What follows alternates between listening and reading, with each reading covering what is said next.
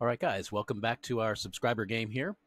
Um, there's not a lot to report. This is going to be a quick check in here. Um, I'm very happy with my expansion out to this um, island. It did uh, yield for me a double coal and then three single coals. So you can see already my energy situation is getting better. I am building a harbor on all three of these tiles. Um, you might say, why are you building on single tiles? Well, because a harbor doesn't have any daily upkeep. So once you build it, it's built and it gives you that plus 25% forever. And you know, hey, 25% of 1500 is like what, 400, 425? So it's not bad. That's, you know, per day. And then on all three of these, so, you know, it's going to give me an additional 425 for each of those three. So a total of around 1300 extra, which is not too bad. So I'll take it. And of course, over here, this is a 4,000 tile, so it's going to give me 25% addition to that. So, and by the way, um, as morale improves, that number will also improve. So I'm going after this double wood tile and this. Uh, if nobody else takes it, I'll take this wheat tile, and then I'm done. I'm sending that entire army, which is not huge, but it's not nothing either. 108 and 7, sending them to the Asian mainland with the rest of my troops, as you can see streaming over. Okay, um, I did want to give props to Borneo and Java. You can see they're expanding uh, wonderfully up here in these islands. Pretty much everything in this region is blue now, meaning in the hands of my allies. That's what I love to see. Um, it does look like Indonesia is putting up some resistance, but what are you going to do against cruisers, um, you know, on the sea lobbing in ordnance? There's not much you can do. So as uh, as troops continue to land here, it, it's a wonderful thing to see these ten cruisers here from Geraldton, and we'll, I imagine we'll see more cruisers from other individuals in the future. Gascoyne has a cruiser brigade here, single cruiser. Um, Gascoyne has another cruiser here. So uh, I'm not sure what what. Oh, somebody's got some air already. Oh, look at that! Java's got a bomber. All right, I love it. Good for you, Java. And that means that Java is going to be developing oil fields. I always say oil, airfields along here as well, which is handy for the rest of us as we build them to, to island hop on up to the front. So that's all that's going on right now. Um, you can see my allies are continuing to expand to these islands here, which is great. Um, you can see that Otago is continuing to expand upwards successfully, which is wonderful. And as soon as he's done over here, yeah, there's a lot of stuff going on here. Um, it looks like he is currently at war with Auckland up here. Auckland had a lot of stuff. Auckland has not been at war with anybody, um, but Auckland is facing those old sea cannons. And of course, uh, Otago could bring this up probably should bring this up to um, to start lobbing in over there. And of course, I'm I'm really loving to play Otago, keeping your cannons outside of the town, keeping these guys inside their fort. It's just beautiful play, perfect play. Um, so as these guys come in, they die against the fort, and they also get uh, shells lobbed down upon them. Same sort of situation over here. You've got people inside the fort here, inside of level two fort. Um, with that good defensive car and then just raining down hellfire from the ocean. So great job, Otago. And that brings me to the last thing I was going to cover here, which is Southern California, for unknown reasons, just randomly attacked Otago here. Look at that. And stupidly attacked because this was a level four fort. Now it looks like it's been bombed down to a level two or a partial level three here, but it doesn't matter you know that that's a car, by the way. Cars are not offensive. A car is just the same as a guy. And Otago can probably correct, but I think this guy came in with like 14, 16 maybe, and uh, and Otago had I think eight. Well, I guess I can find out, can I? It does tell. Yeah, he had eight. You can see two, uh, two in the casualties there. How many did this guy have? Yeah, he had he had. Sorry, my bad. He had 22. He's already lost 15. I mean, just don't attack into forts, guys. This guy is just teaching us a lesson.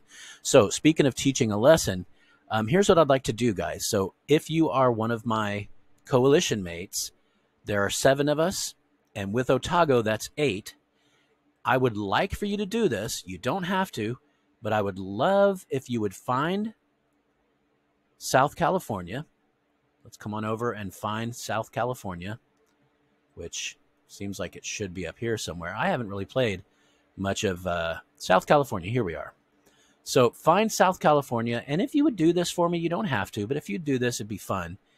Go and declare war on him. South California, here we are. Guess what, bud? We are at war. Dude, declare war. Yes, yes, please. Now, here's the diabolical aspect of this. There it is, turning red. I don't know who this jerkwad is. I don't know why he feels like he needs to come out. You know, look how far away, how far away from him. He comes over and he just suicides 22 troops against a level four fort, which is just dumb. And uh, and by the way, Otago was reaching out to them whole, the whole time and say, "Dude, you're going to die. Don't declare war on me. You know, I don't want that minus five morale. Why are you doing this?" And the guy just never responded, and then attacked, and then now, of course, is dying. And that's what I told Otago. I was like, "Dude, they're going to die screaming against your fort." Uh, but yeah, I'd reach out to them to try to stop them from doing something stupid. So um, here's what I'd like you guys to do, if you want, is if you would please declare war on South California. Remember, you can also go back and uh, and offer peace at a later date. And I think he's going to go for it because here's the plan: there's eight of us, and each one of us, if we declare war on South California, each one of us is minus five on his morale throughout his entire nation. So that's going to be minus forty morale. Can you imagine? So for all of his territories, that's that's global. That's for everything he owns. Everything is going to get a minus 40 it's just going to be devastating, frankly. And look, he's one of those people, he has his capital all the way on one end. So these guys that are far, these territories up here that are relatively far away, remember, they're also going to have a penalty to their morale for being far away from the, uh, from the capital. So I don't know what that penalty will be, but probably like five or six or something. So he's going to have like minus, uh, minus 46 morale everywhere. And he might reconsider his little war with our friend Otago here. And uh, so my feeling is if we all declare war on South California, who's located right here, um, that's going to exert some serious morale pressure on him. And then uh, at some point later in the game, I can reach out to him and say, hey, if you want this to end, you can end it. Uh, you can offer us all peace and we'll go. We'll, we'll give you peace but you need to make peace with Otago as well. So um, it should be fun to be able to concentrate that kind of morale uh, warfare against somebody who attacked our brother. So um, if you would please do that, that'd be great. Now, if you feel like your morale is really hurting and you don't want that extra minus 5%, because remember, for, for us, it's just minus 5% each, right? But for him, it's going to be minus 40%. Um, but if you if you feel like you're already at war with too many countries or you can't sustain that, um, this is not, I'm not demanding anything. I just think it'd be cool. Um, I'm going to do it, you know, for a while. and then eventually um, he'll probably relent and we can make peace with him again or, you know, whatever. But uh, anyway, I thought it'd be fun to do that again. Uh, I'd like to see this collective power of a united coalition just devastating someone with a huge morale hit.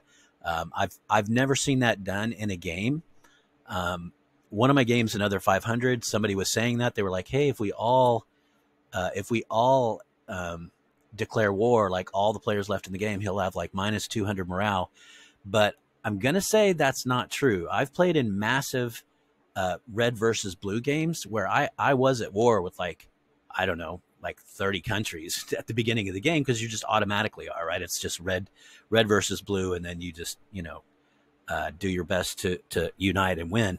And so it does max out somewhere. I think it maxes out at like, ooh, 50 minus 50 morale.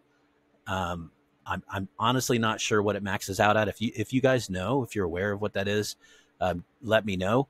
But uh, again, it couldn't hurt to just uh, slap his morale around a little bit. All right, that's about it. Honestly, um, there's not a whole lot more to report. Uh, you can see this blue and white wave as we're swarming up to Asia. Also, as soon as I take these last two territories, I have 100 guys and seven uh, artillery. They're going to make their way up there as well. And, uh, and so soon, not real soon, but within the next week, we're going to have just a ton of guys up here. We're really going to start swarming up north into uh, Asia here. Now, this isn't AI. You can tell because I, some people are like, that's that's the computer overlord. That's the CPU of the computer overlord that's taken over. I don't think that's what that really is. Um, somebody else was saying that that represents like a council, like that's a door to a council hall that the council is running this country or something. I don't know. Anyway, you do know though, if, if you see whatever that crap is behind the soldier, then it is being run by an AI. So this guy, oh Papi, and he's probably going, "Oh, Papi," he's scared because hey, uh, if you're paying any attention whatsoever, bud, you will see a united coalition of seven uh, with an extra brother on the side of Otago coming your way. And uh, again, Otago is just getting his footing right now, but uh, once he takes the rest of this, he's about to take a double oil and a double coal up here. Maybe it's just a double oil. Yeah, he's already got the double coal. About to take this double oil. And when that happens, once he starts ramping up his production here, once he starts getting his factories up to level two and three and his harbors in place, he's going to start churning out the cruisers. Remember, if you have a level four factory, you can churn out a cruiser every day.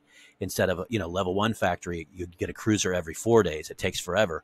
Once you once you crank it up to level four you're really just churning out the cruisers. I really you know in the past like i say otago does tend to become a naval superpower. So i hope he goes that route. Um, it's you know it's kind of what he has to do because there's not a lot more to take. And if you want to take these little islands, it's easiest to do with a nice, beefy navy to rain in uh, death upon those islands and then just send a couple guys in. Because, of course, it takes forever to get out of the boat. And then if you want to, you know, I've done it before. Like I run, I run 50 guys in and then it takes them forever to get on there and then take it. And then I have to, then I have to send them to the next island. So it takes all 50 guys or, you know, I'll leave behind five so 45 guys take forever for them to get out of the get back in the boat and come over here and get out of the boat again. And so I've learned that is absolutely not the way to do it. What you want to do is just simultaneously bomb into as many as you can with two or three cruisers each, and then just send little groups of five into each one of those, and then just leave them there. Heck, you know, five is almost certainly enough to keep them from rebelling. Um, I really don't think they'll rebel with five. If you want to be absolutely certain, I believe seven is the new somebody somebody uh, weighed in and said it's not eight anymore it's it's seven uh, will maintain if you have that morale of 25 so um, but i think five is safe enough. So you can like you can take over all these islands almost simultaneously if you've got a decent navy and if you fragment into little groups of five and have them all climb onto the islands at the same time. Uh, but anyway there's cool stuff going on. I'm, I'm super happy with borneo and java expanding up and outward over here and really um, sort of um, being the, the sharp end of the spear up here as we move into Asia. Now we have not yet gone to war with uh, with Siam here, I believe. Let me just make sure. Oh, he's at war with four countries. Uh, he is at war with Java. Okay, so that is good to know as well. Well, Java, we've got a lot of people coming your way, and I think you pulled the trigger at the right time. You've got plenty of stuff. You've got a freaking bomber.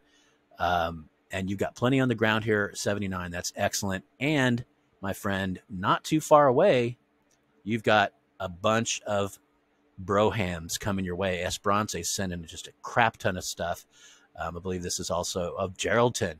Geraldton sending his up though to mainland uh, mainland Asia as he fights Indochina. But a lot of this stuff, I know all of my stuff is coming to here because I want to make a beachhead and just roll up this uh, this peninsula. So, all right, that's it, guys. I uh, did not want to spend a whole bunch of time. Um, remember, again, if you're down for a little shenanigans, um, go ahead and declare war on uh, South California. Don't declare war on the wrong California. There's another California up here somewhere. Uh, I don't know. I just saw it on the on the list. Uh, but anyway, yeah, South Cal- California is the one we want to do. So uh, let's do it, man. Let's have fun with this. All right, guys. Thanks for checking in. I'll see y'all next time. Adios, amigos.